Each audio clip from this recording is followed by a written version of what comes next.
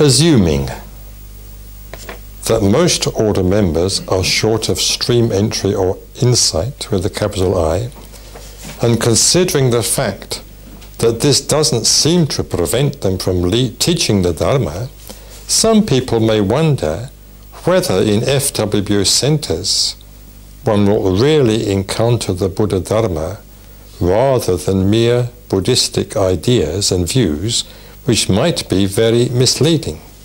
So, one, what is your basis of trust in order members' ability to act as Dharma teachers? Two, how can friends, mitras, and fellow order members assess an order member's understanding of spiritual principles and his her ability to teach the Dharma according to the needs of the individuals concerned?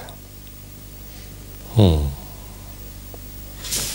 I, I, I, think there's, there's one particular point we need to bear in mind here, which is that in a way the Dharma teaches itself.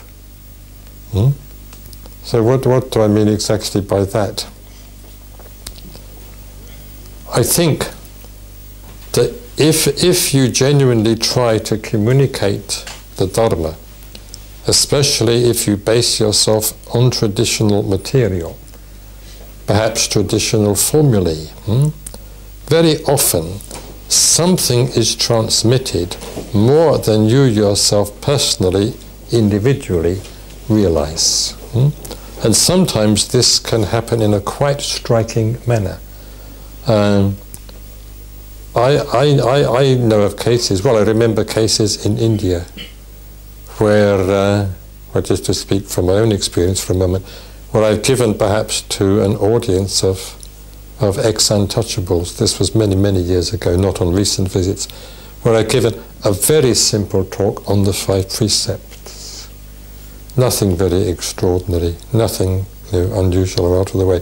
Just a very straightforward, very simple, very basic exposition of the five precepts. And afterwards, people have come to me and said, it was an absolute revelation to them. They felt as though their whole life had been changed, etc., eh? etc.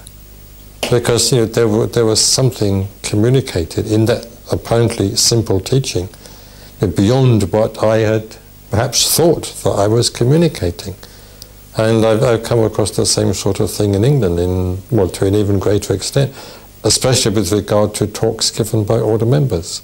I, have known cases where order members have come to me and said, "Oh, Bhante had to give a talk at such and such, you know, place, maybe a, the centre or maybe a school, something like that the other day, and it really was a dreadful lecture. I was very dissatisfied with it. I was not at all happy afterwards. And then someone comes to me later on, it may be even years later, and says, on such and such day, I went along to such and such, I heard that order member give a talk. Huh?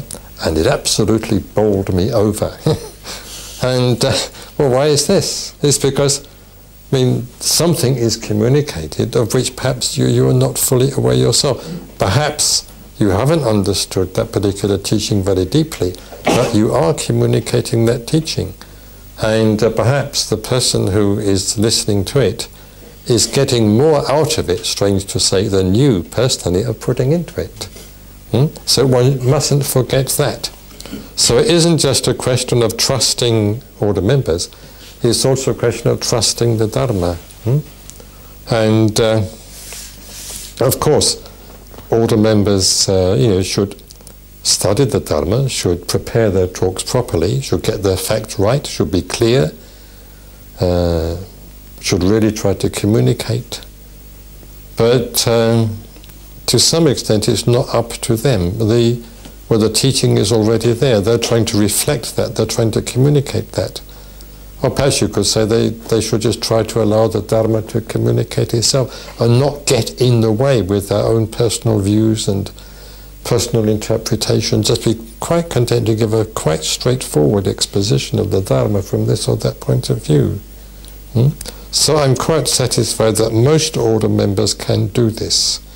I think there are very, very few order members who can't put across the, the Dharma um, in this sort of way to a reasonably receptive and open minded audience.